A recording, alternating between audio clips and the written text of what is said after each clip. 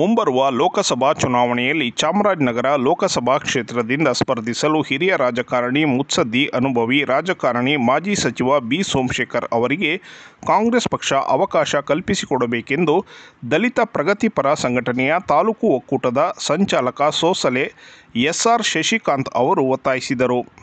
T Narasipura, ಪಟ್ಟಣದ doctor B R Ambedkar ಸಮುದಾಯ ಭವನದಲ್ಲಿ ಮಂಗಳವಾರ ಕರೆಯಲಾಗಿದ್ದ ಪತ್ರಿಕಾಗೋಷ್ಠಿಯಲ್ಲಿ ಈ ಕುರಿತಂತೆ ಅವರು ಮಾತನಾಡಿದರು.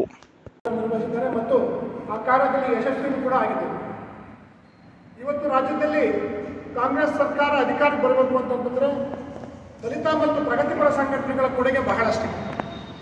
ಯಾಕೆ ಅಂತಂತಂದ್ರೆ ದೇಶದಲ್ಲಿ ಧರ್ಮ ಧರ್ಮಗಳ ನಡುವೆ ದ್ವೇಷವನ್ನು ಉಂಟು ಮಾಡಿ ಯುವ ಸಮುದಾಯವನ್ನು ಧಾರ್ಮಿಕವಾಗಿ ದುರ್ಬಳಕೆ ಮಾಡಿಕೊಳ್ತಾ ಅವರಲ್ಲಿ ಧರ್ಮದ ವಿಷಬೀಜವನ್ನು ಬಿತ್ತುವ ಮುಖಾಂತರ ಇನ್ನೊಂದು ಧರ್ಮವನ್ನು ನೇರವಾಗಿ ವಿರೋಧ ಮಾಡುವಂಥದ್ದು, ಗಲಾಟೆ ಘರ್ಷಣೆಗಳನ್ನು ಮಾಡುವಂಥದ್ದು, ಒಂದು ಸಮುದಾಯ ಇನ್ನೊಂದು ಸಮುದಾಯದ ಮೇಲೆ ಎತ್ತಿಕಟ್ಟಿ ಅದರಿಂದ ರಾಜಕೀಯ ಲಾಭ ಮಾಡಿಕೊಳ್ಳುವಂತಹ ಒಂದು ವ್ಯವಸ್ಥಿತ ಪಿತೂರಿಯನ್ನು ಏನು ಅಜೆಂಡಾವನ್ನು ಆರ್ ಎಸ್ ಎಸ್ ಮತ್ತು ಬಿ ಜೆ ಪಿ ಹೊಂದಿದೆ. ಇವತ್ತು ಅದು ದೇಶದಲ್ಲಿ ಅತಿ ಹೆಚ್ಚಿನ ಸಂಖ್ಯೆಯಲ್ಲಿ ನಡೀತಾ ಇರೋದ್ರಿಂದ ದೇಶದಲ್ಲಿ ಅರಾಜಕತೆ ಉಂಟಾಗಿದೆ.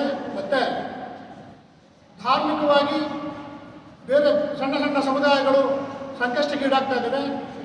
ಯುವ ಜನತೆ ವಿದ್ಯಾಭ್ಯಾಸದ ಮತ್ತು ಉದ್ಯೋಗದ ಕಡೆ ಗಮನ ಕೊಡೋದನ್ನು ಬಿಟ್ಟು ಧಾರ್ಮಿಕವಾಗಿ ಧರ್ಮಗಳ ಹೆಸರುಗಳಲ್ಲಿ ಗಲಾಟೆ ಘರ್ಷಣೆಗಳನ್ನು ಮಾಡ್ಕೊಳ್ಳೋ ಮುಖಾಂತರ ಒಂದು ಧರ್ಮದ ಅಮಲನ್ನು ಏರಿಸಿಕೊಂಡು ಯುವ ಜನತೆ ಸಂಪೂರ್ಣವಾಗಿ ಹಾಳಾಗ್ತಾ ಇದೆ ಇಂಥ ಸಂದರ್ಭಗಳಲ್ಲಿ ಮುಂಬರುವಂತಹ ಲೋಕಸಭಾ ಚುನಾವಣೆ ಈ ದೇಶದ ಅಭಿವೃದ್ಧಿ ಮತ್ತು ಈ ದೇಶದಲ್ಲಿ ಸರ್ವ ಜನಾಂಗವು ನೆಮ್ಮದಿಯಿಂದ ಬದುಕಬೇಕು ಅಂತಂದರೆ, ಭ್ರಾತೃತ್ವವನ್ನು ಬೆಳೆಸ್ಕೋಬೇಕು ಅಂತಂದರೆ ಏನು ನಮ್ಮ ರಾಷ್ಟ್ರಕವಿ ಕುವೆಂಪು ಹೇಳಿದರೆ ಸರ್ವ ಜನಾಂಗದ ಶಾಂತಿಯ ತೋಟ ಅಂತೇಳಿ ಈ ದೇಶದಲ್ಲಿ ಎಲ್ಲ ಧರ್ಮದವರು ತಮ್ಮದೇ ಧರ್ಮವನ್ನು ಪಾಲನೆ ಮಾಡಿಕೊಂಡು ಒಳ್ಳೆ ರೀತಿಯಲ್ಲಿ ಬದುಕೋದಕ್ಕೆ ಸಂವಿಧಾನ ಅವಕಾಶ ಮಾಡಿಕೊಂಡಿದೆ. ಈ ಸಂವಿಧಾನದ ಅಡಿಯಲ್ಲಿ ಕೇಂದ್ರದಲ್ಲಿ ಅಧಿಕಾರವನ್ನು ನಡೆಸುವಂತಹ ಸರ್ಕಾರಗಳು ಯಾವಾಗಲೂ ಈ ದೇಶದ ಎಲ್ಲ ವರ್ಗದ ಎಲ್ಲ ಧರ್ಮಗಳನ್ನು ಒಂದೆಡೆ ಕೂಡಿ ಹಾಕಿ ಸರ್ವ ಜನಾಂಗಕ್ಕೂ ಒಳಿತನ್ನು ಮಾಡುವಂಥ ಆಡಳಿತವನ್ನು ನೀಡಬೇಕಾಗಿದೆ ಆದರೆ ಕಳೆದ ಹತ್ತು ವರ್ಷಗಳಿಂದ ಕೇಂದ್ರದ ಬಿ ಜೆ ಪಿ ನೇತೃತ್ವ, ಮೋದಿ ನೇತೃತ್ವ ಬಿ ಜೆ ಪಿ ಸರ್ಕಾರ ರಾಜ್ಯದಲ್ಲಿ ಬೇರೆ ಬೇರೆ ರಾಜ್ಯಗಳಲ್ಲೂ ಕೂಡ ಕೋಮುವಾದವನ್ನು ಹುಟ್ಟುಹಾಕುವಂಥದ್ದು ಧರ್ಮಗಳ ನಡುವೆ ಭೇದವನ್ನು ಉಂಟು ಮಾಡುವಂಥದ್ದು ಹಿಂದೂ ಧರ್ಮ, ಹಿಂದೂ ರಾಷ್ಟ್ರ ಮಾಡ್ತೀನಿ ಅಂತ ಹೇಳಿಕೆಗಳ ಮುಖಾಂತರ ಬೇರೆ ಬೇರೆ ಸಮುದಾಯ, ಮುಸ್ಲಿಂ ಸಮುದಾಯ ಅಥವಾ ಇನ್ನಿತರ ಧರ್ಮಗಳನ್ನು ಕೀಳಾಗಿ ಕಾಣುವಂಥ ವ್ಯವಸ್ಥೆಯನ್ನು ನಮ್ಮ ಏನು ನಡೆಸ್ಕೊಂಡು ಬಂದು ದೇಶದಲ್ಲಿ ಇವತ್ತು ಕೋಮುವಾದ ಅನ್ನುವಂಥದ್ದು ಬಹಳ ಅನೈತಿಕ, ನೈತಿಕ ಪೊಲೀಸ್ಗಿರಿ ಮತ್ತು ಇನ್ನಿತರ ಕಾರಣಗಳಲ್ಲಿ ಗುಂಡಾಗಿರಿ ಮಾಡುವಂಥ ಒಂದು ಪರಿಸ್ಥಿತಿ ನಿರ್ಮಾಣ ಆಗಿದೆ. ಇಂಥ ಸಂದರ್ಭದಲ್ಲಿ ದೇಶದಲ್ಲಿ ಒಂದು ಉತ್ತಮವಾದ ಸರ್ಕಾರ ಬರಬೇಕು. ಎಲ್ಲ ಧರ್ಮಗಳನ್ನು ಸಮಾನವಾಗಿ ಕಾಣುವ ಸಾಮಾಜಿಕ ನ್ಯಾಯವನ್ನು ನೀಡುವಂಥ ಅಧಿಕಾರವನ್ನು ನೀಡುವಂಥ ಸರ್ಕಾರಗಳು ಬರಬೇಕು ಅನ್ನೋದು ದೃಷ್ಟಿಯಿಂದ ಪ್ರಗತಿಪರ ಮತ್ತು ದಲಿತ ಸಂಘಟನೆಗಳು ಸಾಕಷ್ಟು ಹೋರಾಟವನ್ನು ಮಾಡ್ಕೊಂಡು ಬಂದಿದ್ದಾವೆ. ಆ ನಿಟ್ಟಿನಲ್ಲಿ ಈ ಮುಂದಿನ ಸಂಸತ್ ಚುನಾವಣೆಯಲ್ಲೂ ಕೂಡ ಭ್ರಷ್ಟ ಕೋಮುವಾದಿ ಮತ್ತು ಧರ್ಮದ ಆಧಾರದ ಮೇಲೆ ರಾಜಕಾರಣ ಮಾಡ್ತಿರ್ತಕ್ಕಂಥ ಬಿ ಜೆ ಪಿ ಸರ್ಕಾರವನ್ನು ಸೋಲಿಸಿ ಜಾತ್ಯತೀತ ಸಮಾಜವಾದಿ ಮತ್ತು ಸಾಮಾಜಿಕ ನ್ಯಾಯವನ್ನು ನೀಡುವಂತಹ ಪಕ್ಷಗಳು ಅಧಿಕಾರಕ್ಕೆ ಬರಬೇಕಾಗಿದೆ.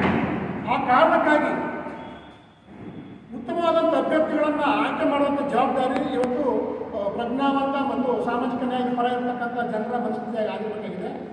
ಆ ಕಾರಣಕ್ಕಾಗಿ ಇವತ್ತು ಏನು, ಚಾಮರಾಜನಗರ ಲೋಕಸಭಾ ಕ್ಷೇತ್ರದಲ್ಲಿ ಹಲವಾರು ಅಭ್ಯರ್ಥಿಗಳು ಇವತ್ತು ವಿವಿಧ ಪಕ್ಷಗಳ ಮುಖಾಂತರ ಆಕಾಂಕ್ಷಿಗಳಾಗಿ ಕೆಲಸ ಓಡಾಡ್ತಾ ಇದ್ದಾರೆ. ಆದರೆ, ಕಳೆದ ಸಂದರ್ಭ, ಈ ಬಾರಿ ಅಲ್ಲ, ಕಳೆದ ಹಿಂದಿನ ಸಂದರ್ಭಗಳಲ್ಲಿ ಹತ್ತು ವರ್ಷ ಈ ಕ್ಷೇತ್ರದ ಸಂಸದರಾಗಿದ್ದಂತಹ ಸನ್ಮಾನ್ಯ ದಿವಂಗತ ಧ್ರುವನಾರಾಯಣರವರು ಈ ಕ್ಷೇತ್ರವನ್ನು ಅಭಿವೃದ್ಧಿಪಡಿಸೋದ್ರಲ್ಲಿ ಸಾಕಷ್ಟು ಶ್ರಮ ವಹಿಸಿ ಹಲವಾರು ಯೋಜನೆಗಳನ್ನು ಜಾರಿಗೊಳಿಸೋದ್ರ ಮುಖಾಂತರ ಉತ್ತಮವಾದ ಕೆಲಸವನ್ನು ಮಾಡಿದರು. ಜೊತೆಗೆ ಕ್ಷೇತ್ರದ ಯಾವುದೇ ಜನರು ಅವ್ರ ಬಳಿ ಹೋದಾಗ ಅವ್ರ ಸಮಸ್ಯೆಗಳನ್ನು ಕೂತು ಆಲಿಸಿ ಬಗೆಹರಿಸುವಂಥ ಸಮಸ್ಯೆಗಳಿದ್ರೆ ಅಲ್ಲೇ ಕ್ಷಣದಲ್ಲೇ ಬಗೆಹರಿಸಿ, ಇಲ್ಲ ಅಂತಂತಂದರೆ ಪರ್ಯಾಯ ಮಾರ್ಗಗಳನ್ನು ಸೂಚಿಸೋ ಮುಖಾಂತರ ಜನಾನುರಾಗಿ ಕೆಲಸ ಮಾಡಿದ್ರು. ಇವಾಗಲೂ ಕೂಡ ನಾವು ಅಂತಹದೇ ಒಬ್ಬ ನಾಯಕ ಈ ಕ್ಷೇತ್ರದಲ್ಲಿ ಚಾಮರಾಜನಗರ ಲೋಕಸಭಾ ಕ್ಷೇತ್ರದಲ್ಲಿ ಅಭ್ಯರ್ಥಿ ಆಗಬೇಕು ಅನ್ನೋದು ನಮ್ಮೆಲ್ಲರ ಒಂದು ಬಯಕೆ. ಆ ನಿಟ್ಟಿನಲ್ಲಿ ಇವತ್ತು ನಾವು ದಲಿತ ಮತ್ತು ಪ್ರಗತಿಪರ ಸಂಘಟನೆಗಳು ಏನು ಸಮಾಜದ ಬಗ್ಗೆ ಒಳ್ಳೆ ಕಳಕಳಿ ಇಟ್ಕೊಂಡು ಸಾಮಾಜಿಕ ನ್ಯಾಯದ ಪರವಾಗಿರ್ತಕ್ಕಂಥ ಮನಸ್ಥಿತಿ ಇರ್ತಕ್ಕಂಥ ಮುಖಂಡರುಗಳು ಲೋಕಸಭಾ ಚುನಾವಣೆಯಲ್ಲಿ ಬಿ ಜೆ ಪಿ ಅಭ್ಯರ್ಥಿಯನ್ನು ಸೋಲಿಸಬೇಕಾಗಿದೆ ಆ ಕಾರಣಕ್ಕಾಗಿ ಕಾಂಗ್ರೆಸ್ಸಿಂದ ಬಿ ಜೆ ಪಿ ಪರ್ಯಾಯವಾಗಿ ಬೇರೆ ಪಕ್ಷಗಳಿಲ್ಲ. ಆಲ್ರೆಡಿ ಬಿ ಜೆ ಪಿ ಜೊತೆ ಜೆ ಡಿ ಎಸ್ ಹೊಂದಾಣಿಕೆ ಮಾಡಿಕೊಂಡಿರೋದ್ರಿಂದ ಪ್ರಬಲ ವಿರೋಧ ಪಕ್ಷ ಈಗ ಅಂತಂದರೆ ಬಿ ಜೆ ಪಿಗೆ ಕಾಂಗ್ರೆಸ್. ಆ ಕಾರಣಕ್ಕಾಗಿ ಕಾಂಗ್ರೆಸ್ಸಿಂದ ಅಭ್ಯರ್ಥಿಯನ್ನಾಗಿ ಮಾಡುವಂಥ ಸಂದರ್ಭಗಳಲ್ಲಿ ಇದುವರೆಗೂ ಬೇರೆ ಬೇರೆ ಲಾಬಿಗಳನ್ನ ಮಾಡಿಕೊಂಡು ಬೇರೆ ಬೇರೆ ಕಾರಣಗಳಿಗೆ ಹೈಕಮಾಂಡನ್ನು ಓಲೈಕೆ ಮಾಡಿಕೊಂಡು ಅಭ್ಯರ್ಥಿಗಳಾಗಿ ಬರ್ತಿದ್ರು ಅವ್ರ ಪರವಾಗಿ ಜನ ಕೆಲಸ ಮಾಡ್ತಾರೆ ಆದರೆ ಇವಾಗ ಮನಸ್ಥಿತಿ ಬದಲಾಗಿದೆ. ಅವ್ರು ಯಾರೇ ಅಭ್ಯರ್ಥಿ ಹಾಕಿದ್ರು ನಾವು ಅವರು ಬಿ ಜೆ ಪಿ ವಿರುದ್ಧ ನಮ್ಮಕ್ಕೋಸ್ಕರ ನಾವು ಓಟ್ ಹಾಕುವಂಥ ಪರಿಸ್ಥಿತಿ ನಿರ್ಮಾಣ ಆಗಿದೆ. ಸೊ ಅದು ಹೋಗ್ಬೇಕು. ಆ ಕಾರಣಕ್ಕೆ ಜನರ ಅಭಿಪ್ರಾಯ, ಯಾವ ಅಭ್ಯರ್ಥಿಗಳಾದರೆ, ಎಂಥ ಅಭ್ಯರ್ಥಿಗಳಾದರೆ ಈ ಕ್ಷೇತ್ರಕ್ಕೆ ಒಳ್ಳೆಯದು ಅನ್ನುವಂಥ ಮನಸ್ಥಿತಿಯನ್ನು ಬೆಳೆಸ್ಕೊಂಡು ಟಿಕೆಟ್ ಕೊಡೋಂಥವ್ರನ್ನ ಪ್ರಶ್ನೆ ಮಾಡುವಂಥ ಸಂದರ್ಭಗಳಿಗೆ ಬಂದಿದ್ದೇವೆ ಆ ನಿಟ್ಟಿನಲ್ಲಿ ನಾವು, ನಮ್ಮೆಲ್ಲ ಸ್ನೇಹಿತರು, ಸಂಘಟನಾ ಮುಖಂಡರುಗಳು, ಈ ಬಾರಿ ಚಾಮರಾಜನಗರ ಲೋಕಸಭಾ ಕ್ಷೇತ್ರಕ್ಕೆ ಉತ್ತಮ ಅಭ್ಯರ್ಥಿಯನ್ನು ಕಾಂಗ್ರೆಸ್ ಪಕ್ಷ ಕೊಡಬೇಕು. ಯಾಕೆಂದರೆ ಬಿ ಜೆ ಪಿನ ಸೋಲಿಸಬೇಕಂದ್ರೆ ಅಭ್ಯರ್ಥಿಯ ವರ್ಚಸ್ಸು, ಅವರ ಅನುಭವ ಮತ್ತು ಹಿರಿತನ, ಮತ್ತು ಇತರೆ ಗುಣಗಳು ಜನರನ್ನು, ಕಾರ್ಯಕರ್ತರನ್ನು, ಈ ಕ್ಷೇತ್ರದ ಜನರನ್ನ ಪಕ್ಷಾತೀತವಾಗಿ, ಜಾತ್ಯತೀತವಾಗಿ ವಿಶ್ವಾಸವನ್ನು ಪಡ್ಕೊಂಡು ಅಭಿವೃದ್ಧಿ ಕೆಲಸಗಳನ್ನು ಮಾಡುವಂಥ ಒಬ್ಬ ಅಭ್ಯರ್ಥಿ ನಮಗೆ ಅವಶ್ಯಕತೆ ಇದೆ. ಹಾಗಾಗಿ ಇವತ್ತು ನಾವೆಲ್ಲ ಹಲವಾರು ಅಭ್ಯರ್ಥಿಗಳು ಈಗ ಆಕಾಂಕ್ಷಿಗಳಾಗಿದ್ದಾರೆ. ಅದರಲ್ಲಿ ಪ್ರಮುಖವಾಗಿ ಹಿರಿಯ ರಾಜಕಾರಣಿಗಳು ಹಿಂದೆ ಜೆ ಎಚ್ ಪಟೇಲ್ ಮತ್ತು ದೇವೇಗೌಡರ ಸರ್ಕಾರದಲ್ಲಿ ಸಚಿವರಾಗಿದ್ದಂಥವರು, ಕಂದಾಯ ಸಚಿವರಾಗಿ, ಉನ್ನತ ಶಿಕ್ಷಣ ಸಚಿವರಾಗಿ, ಪ್ರಾಥಮಿಕ ಪ್ರೌಢ ಶಿಕ್ಷಣ ಸಚಿವರುಗಳಾಗಿ ಹಲವಾರು ಅಭಿವೃದ್ಧಿ ಕೆಲಸಗಳನ್ನು ಮಾಡಿದ್ದಾರೆ. ಉನ್ನತ ಶಿಕ್ಷಣ ಸಚಿವರಾಗಿದ್ದಂಥ ಸಂದರ್ಭದಲ್ಲಿ ಯು ಜಿ ಸಿ ಮತ್ತು ಯೂನಿವರ್ಸಿಟಿಗಳಲ್ಲಿ ಏನು ಸಾಮಾಜಿಕ ನ್ಯಾಯದಲ್ಲಿ ಉದ್ಯೋಗಗಳನ್ನು ಭರ್ತಿ ಮಾಡುವಂಥ ಸಮಸ್ಯೆ ಇತ್ತು, ಆ ಸಮಸ್ಯೆಯನ್ನು ಬಗೆಹರಿಸಿ ಹಲವಾರು ಪ್ರೊಫೆಸರ್ಸ್ಗಳು ಉದ್ಯೋಗ ಪಡೆಯುವಂಥ ಕೆಲಸವನ್ನು ಅವರು ಮಾಡಿದ್ದಾರೆ.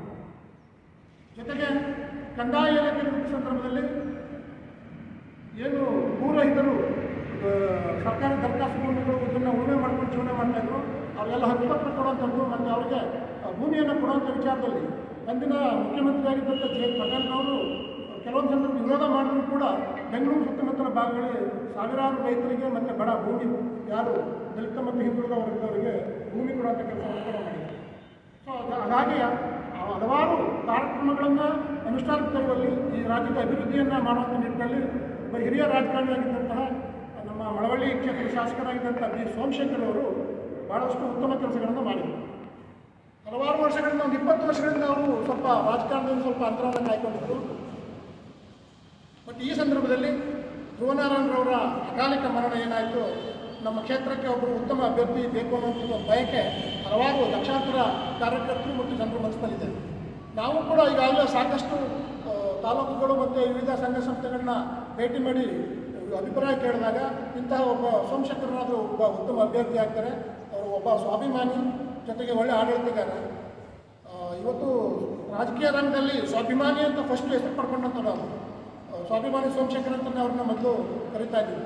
ಅಂತ ಅಂತಹ ಒಬ್ಬ ಮುತ್ಸದ್ದಿ ರಾಜಕಾರಣಿ, ಅನುಭವ ಇರ್ತಕ್ಕಂಥವ್ರು, ಅಂತ ಅವರು ಚಾಮರಾಜನಗರ ಮತ್ತು ಲೋಕಸಭಾ ಕ್ಷೇತ್ರಕ್ಕೆ ಅಭ್ಯರ್ಥಿ ಆದರೆ ಜನಸಾಮಾನ್ಯರಿಗೆ ಬಹಳ ಹತ್ತಿರದಲ್ಲಿ ಅವರು ಎಲ್ಲರನ್ನೂ ವಿಶ್ವಾಸ ತಗೋತಾರೆ ಎಲ್ಲರನ್ನ ಗೌರವಿಸ್ತಾರೆ, ಅವ್ರ ಸಂಸ್ಕಾರಗಳನ್ನ ಮಾಡ್ಕೊಳ್ಳೋದ್ರಲ್ಲಿ ಅವರು ಮುಂದೆ ಬರ್ತಾರೆ ಅನ್ನೋದು ನಮ್ಮ ಭಾವನೆ ಆಗಿದೆ. ಆ ಕಾರಣಕ್ಕಾಗಿ ಅಂತಹ ಹಿರಿಯರು, ಅನುಭವಿಗಳು, ಒಳ್ಳೆ ಆಡಳಿತವನ್ನು ನಡೆಸಿದಂಥವ್ರು ಮುತ್ಸದ್ದಿ ರಾಜಕಾರಣಿ ಆಗಿರೋದ್ರಿಂದ ನಾವೆಲ್ಲರ ಅಭಿಪ್ರಾಯ ಈ ಬಾರಿಯ ಲೋಕಸಭಾ ಕ್ಷೇತ್ರದಲ್ಲಿ ಚಾಮರಾಜನಗರಕ್ಕೆ.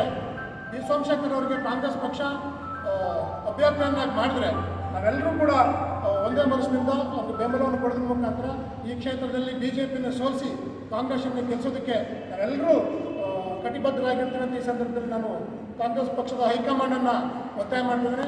ಹಾಗೆ ಈ ಭಾಗದ ಪ್ರಭಾವಿ ರಾಜಕಾರಣಿಗಳು, ಹಿರಿಯರು ಮುಖ್ಯಮಂತ್ರಿಗಳಾದಂಥ ಸಿದ್ದರಾಮಯ್ಯವರು ನನ್ನ ಒಂದು ಕೋರಿಕೆ ಇಷ್ಟೇ. ರಾಜಕೀಯ ಕಾರಣಗಳಿಗಾಗಿ ಅಭ್ಯರ್ಥಿಗಳನ್ನು ಹಾಕೋದನ್ನು ಬಿಟ್ಟು ಅಭಿವೃದ್ಧಿ ಪರವಾಗಿ ಮತ್ತು ಗೆಲ್ಲೋಕ್ಕೆ ಅವಕಾಶ ಇರ್ತಕ್ಕಂಥ ಜನರನ್ನ ವಿಶ್ವಾಸ ತೆಗೆದುಕೊಂಡು ಜನಾಭಿಪ್ರಾಯ ಇರ್ತಕ್ಕಂಥ ಅಭ್ಯರ್ಥಿಗಳನ್ನು ಹಾಕೋದ್ರ ಮುಖಾಂತರ ಇಲ್ಲಿ ಕಾಂಗ್ರೆಸ್ ಗೆದ್ದರೆ ಅದು ಮುಖ್ಯಮಂತ್ರಿಗಳಾಗಿರ್ತಕ್ಕಂಥ ತಮಗೂ ಕೂಡ ಒಂದು ಗೌರವವನ್ನು ತರುತ್ತೆ ಮತ್ತು ನಿಮ್ಮ ಒಂದು ಏನು ಹೋರಾಟ ಮತ್ತು ಹೋರಾಟದ ಹಿನ್ನೆಲೆಯಲ್ಲಿ ಬಂದಂಥ ನಿಮ್ಮ ಜೀವನದಲ್ಲಿ ಏನೇನು ಹೋರಾಟ ಮಾಡಿದ್ರಿ ಮತ್ತು ಎರಡು ಬಾರಿ ಮುಖ್ಯಮಂತ್ರಿ ಆಗಿದ್ದೀರಿ ನಿಮ್ಮ ಶಕ್ತಿಗೆ ನಿಮಗೆ ಶಕ್ತಿ ಆಗಬೇಕು ಅಂತಂದರೆ ಈ ಭಾಗದಲ್ಲಿ ಕಾಂಗ್ರೆಸ್ ಗೆಲ್ಲಬೇಕಾದಂಥ ಅನಿವಾರ್ಯತೆ ಇದೆ. ಹಾಗಾಗಿ ಅಭ್ಯರ್ಥಿಯನ್ನು ಹಾಕುವ ಸಂದರ್ಭದಲ್ಲಿ ಹಿರಿತನ ಅನುಭವ ಮತ್ತು ಜನರ ಅಭಿಪ್ರಾಯಗಳನ್ನು ಸಂಗ್ರಹಿಸಿ ನಮ್ಮೆಲ್ಲರ ಬೇಡಿಕೆಯಂತೆ ನೀವು ಸೋಮಶೇಖರ್ ಅವರನ್ನು ಅಭ್ಯರ್ಥಿಯನ್ನಾಗಿ ಮಾಡಬೇಕು. ನಾವೆಲ್ಲರೂ ಕೂಡ ಅವ್ರ ಪರವಾಗಿ ಕೆಲಸ ಮಾಡ್ತೀವಿ. ಅವ್ರನ್ನ ಗೆಲ್ಲಿಸುವಂಥ ನಿಮ್ಮನ್ನು ನಾವೆಲ್ಲರೂ ದುಡಿತೀವಿ ಅಂತ ಈ ಸಂದರ್ಭದಲ್ಲಿ ನಾನು ಹೇಳ್ಕೊಳ್ತಾ, ಮಾನ್ಯ ಮುಖ್ಯಮಂತ್ರಿಗಳು ಮತ್ತು ಕೆ ಪಿ ಸಿ ಸಿ ಅಧ್ಯಕ್ಷರು ಮತ್ತು ಎ ಐ ಸಿ ಸಿ ಅಧ್ಯಕ್ಷರಲ್ಲಿ ಚಾಮರಾಜನಗರ ಲೋಕಸಭಾ ಕ್ಷೇತ್ರಕ್ಕೆ ಬಿ ಸೋಮಶೇಖರ್ ಅವ್ರನ್ನ ಅಭ್ಯರ್ಥಿಯನ್ನಾಗಿ ಮಾಡಬೇಕು ಅಂತ ಈ ಮೂಲಕ ನಾನು ಒತ್ತಾಯವನ್ನು ಮಾಡ್ತಾ ಇದ್ದೀನಿ